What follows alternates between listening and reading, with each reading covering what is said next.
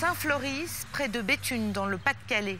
Fin avril 1918, ce petit village marque l'avancée extrême des Allemands.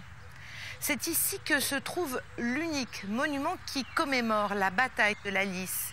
Il faudra attendre 70 ans après l'armistice pour qu'il soit érigé.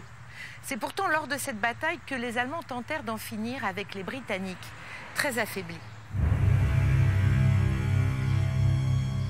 Avril 1918, l'état-major allemand qui a échoué dans sa première offensive dans la Somme décide de relancer ses troupes en Flandre française sur une ligne entre Labassé et Armentières.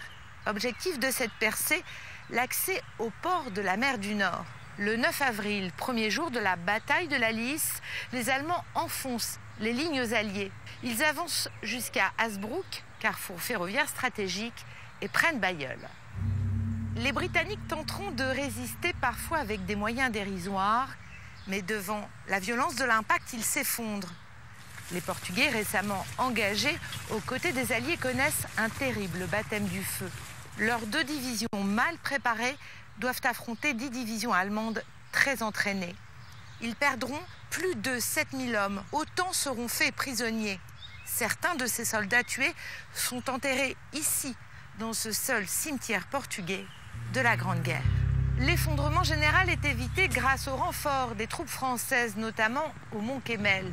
Ypres n'est pas tombé et les Allemands ne sont pas parvenus jusqu'à la mer. Cette bataille s'achève le 29 avril. Malgré des pertes considérables, les Alliés ont réussi à stabiliser le front. Ces 20 jours de combats acharnés auraient pu faire basculer le cours de la guerre.